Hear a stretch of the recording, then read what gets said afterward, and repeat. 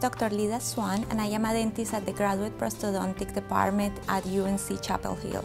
E4D allows me to be flexible and either do my restorations in-house and characterize them or I can also send them to a laboratory.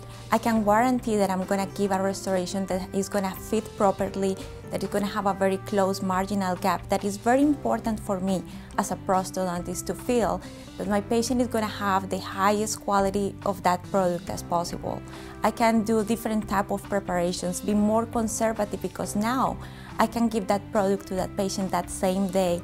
So the patient is going to have the best treatment as possible. Even if you are a single practitioner, are a specialist, or even at the university setting, I will definitely recommend E4D system.